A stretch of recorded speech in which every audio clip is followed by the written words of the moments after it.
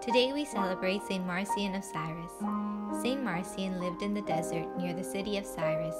He built a small hut and settled in it, passing his time in prayer, singing psalms, and reading spiritual books.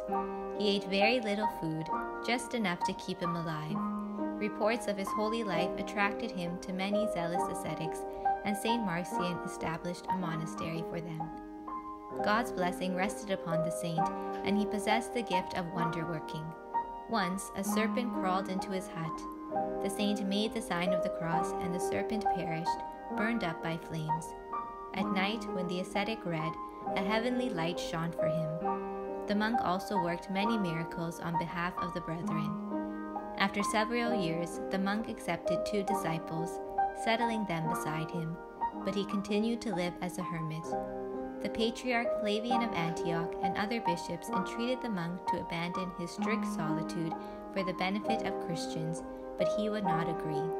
However, while not leaving his hut, he taught those coming to him for instruction, and he turned away many from heresy and led them to the faith. St. Marcian died in the year 388.